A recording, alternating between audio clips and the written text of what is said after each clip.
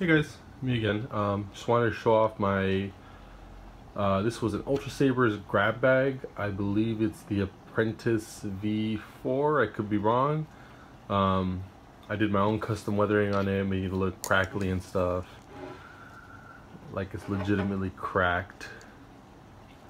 Um, spray painted it red, gave it a leather wrap, added a D-ring, uh, got the D-ring from uh, Custom Saber Shop.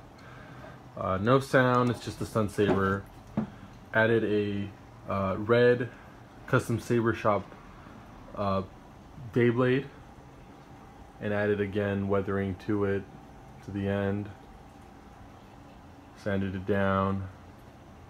Um, I have noticed that with these um, Dayblades, they're overall like significantly less bright. Here it kind of looks bright, but you can kind of see it's like, it doesn't even look like it's on at the end.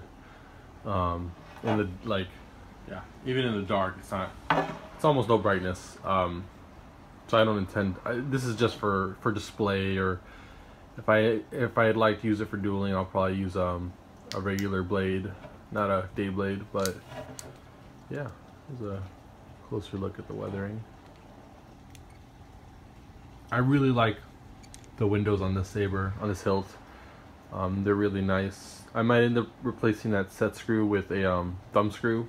I, I don't like carrying around Allen wrenches. I've already lost three of them.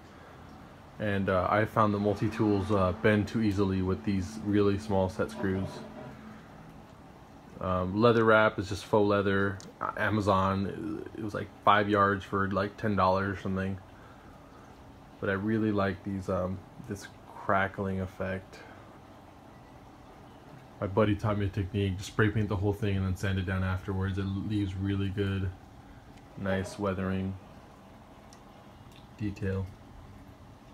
Anyways thanks for watching. Stay tuned